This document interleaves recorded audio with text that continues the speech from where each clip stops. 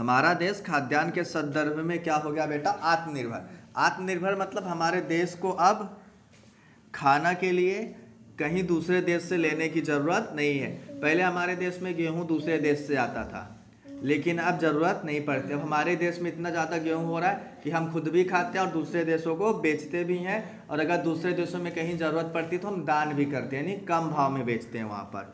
ठीक है? हमारे देश में खाद्यान्नों के उत्पादन में हुई प्रचंड वृद्धि।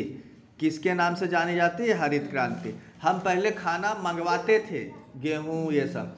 लेकिन अब हम खुद इतना ज़्यादा पैदा कर ले रहे हैं कि हमें बेचना पड़ रहा है। तो ये जो इतनी ज़्यादा वृद्धि हुई है, इसे हम किस नाम से जानते हैं बेटा? हरित क्रांति नाम से। वैज्ञानिकों, विज्ञान प्रचारकों और किसानों के सम्मिलित प्रयास द्वारा यह हरित क्रांति संभव हुई। गेहूँ और चावल के बीजों में सुधार करके हरित क्रांति लाने का श्रेय कृषि वैज्ञानिक डॉक्टर एम एस स्वामीनाथन को दिया जाता है। और हरी क्रांति का क्रेडिट बोलो या फिर सम्मान बोलिए किसे दिया जाता है, वह डॉक्टर एम एस स्वामीनाथन को दिया जाता है। फिर खाद्य सुरक्षा, यानी खाद्यान्न सुरक्षा हम कैसे करेंगे? तो भोजन हमारी मूलभूत आवश्यकता है ना बेटा? मूलभूत मतलब सबसे ज़रूरी आवश्यकता। प्रत्येक व्यक्ति को आवश्यक और पर्याप्त भोजन मिलता रहे। इस उद्देश्य से बहुत से देशों द्वारा खाद्यान्न की प्रत्याभूति देने के लिए अधिनियम बनाए गए हैं। प्रत्येक लोगों को हर दे, हर देश के नागरिक को अच्छा भोजन मिल सके और भोजन मिल सके, पहली बात तो। इसके लिए हर देश ने अपने अपने क्या बनाए हैं? कानून बनाए हैं। ठीक है?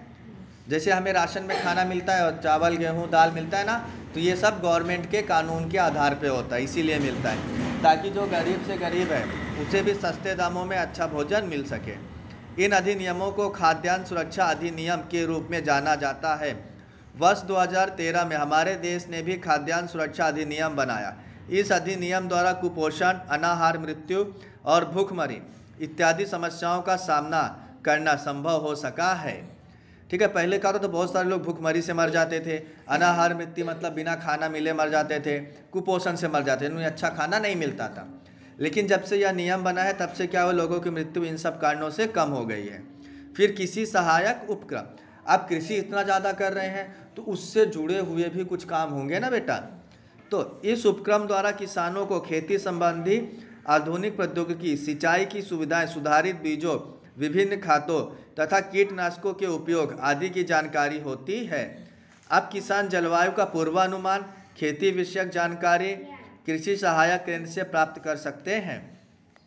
हमारे देश में पहले क्या था? ये जो कृषि सहायक उपक्रम है, बहुत कम मात्रा में थे, अब बहुत ज़्यादा हो गए हैं। अब अगर हमें क्या खेती करना है, क्या नहीं करना है, हम वैज्ञानिकों के तर्क के हिसाब से डिसाइड करके कर सकते हैं। और इस तरह खेती करने से हमें क्या होगा? हानि बहुत कम होगी। इसके अतिरिक्त उनके लिए कृषि विद्यालय भी प्रारंभ किए गए हैं। इन विद्यालयों में किसानों के परिवार के सदस्य खेती संबंधी नवीन प्रौद्योगिकी सीखते हैं। कृषि उपज बाज़ार समितियों के माध्यम से खेती के उत्पादनों को प्रदर्शनियाँ लगाई जाती हैं।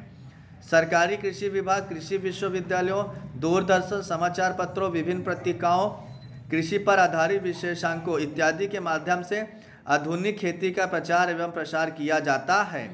सुधारित विधियों का उपयोग करके भरपूर उपज प्राप्त करना सभी किसानों के लिए संभव हो गया है। इसका लाभ संपूर्ण देश को हो रहा है। समझ में आया बेटा? ओके